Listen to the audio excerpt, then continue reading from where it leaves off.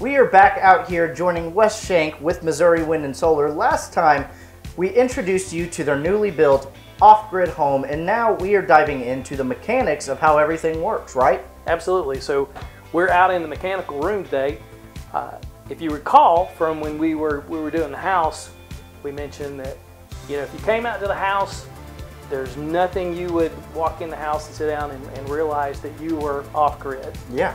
Now, now we're in one of the areas that you would realize uh, out here Something's a little bit different, Something's a little yeah. bit different, not in every house. Now, you'd see the solar panels out and the wind in the wind turbine out, but but this is something a little different in the mechanical room here. So this is the room where we actually have the, the heating, air conditioning come in, the well comes in, the water heater comes in.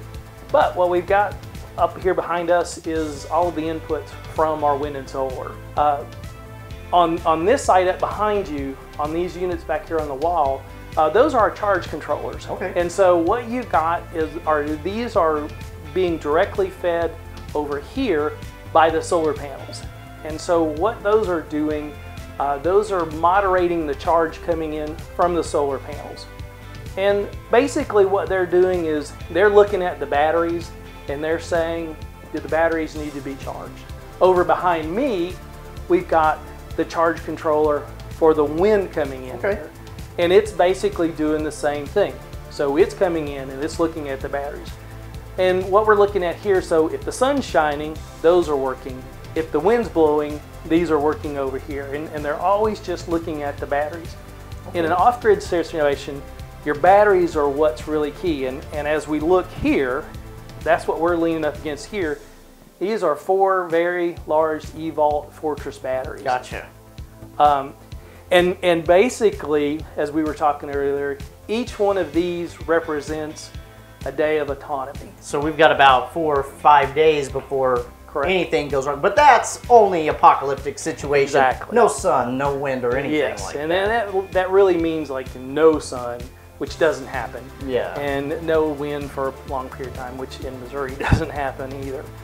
All right, now is a setup like this something for the everyday person that might want to go off grid, or is it overcomplicated for somebody like that? I was a participant in all of this with my with my team here. Okay. And so I would I would say, you know, on a on an easy scale, you know, changing out a light bulb to a hard scale, you know, building a house from scratch. You know, this is probably in the in the middle sort of thing. It's, it's probably something that, you know, if you're really good, you can do. Now, the the part of this that we would always want to make sure is that you have a qualified electrician making Absolutely. your you know, making your final jump from the radians where you're converting the DC over to AC, you always want to make sure that you've got a qualified electrician involved in that process. Now, if somebody does set one of these systems up for themselves and they're not an expert, that is okay because you guys have a bunch of salespeople that are always going to answer your phones if somebody has any questions. And even better, you guys really help your customers by going above and beyond and holding workshops people can attend. Absolutely. So we just finished up our, our May workshop. The next workshop coming up will be in August. Those are two days, and we we really do some deep dive into all of this, and uh, a lot of hands-on.